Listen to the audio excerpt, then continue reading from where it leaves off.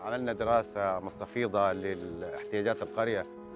في ظل ارتفاع أسعار اللحوم البلدية اللي موجودة كانت الأسعار مرتفعة. ابتدينا نعمل آه، دراسة لعدد من الأسر الموجودة على أساس إن نسد حاجة ال- القرية من ال- البروتين. ففكرنا في مشروع الحمام. فقدرنا نتوصل ل 80 أسرة. نديهم كل أسرة حوالي 20 جوز حمام. كناش يعني لما نعوز جوز حمام كنا نروح قسنا دلوقتي بيجي متوفر آه، في تفنيس بسببنا إحنا المشروع بتاعنا.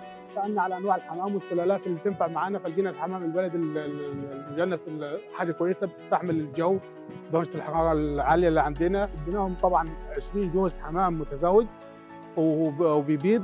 المشروع استفدنا منه بعت منه وعملنا معيشة منتجة للعيال وهو كويس يعني زي كده توفر لي دخل شهر ال- الأولاد. عملنا لهم ندوات وتوعية. مشروع آه، خفيف ويستفيد منه الفقير.